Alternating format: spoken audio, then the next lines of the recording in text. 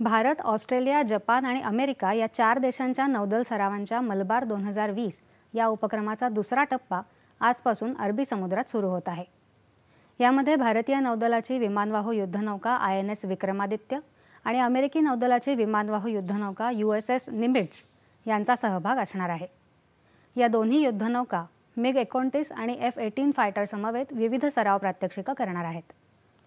दुसऱ्या टप्प्यात या चार देशांची नौदलं विविध प्रकारच्या कठीण युद्ध सरावांमध्ये भाग घेणार आहेत.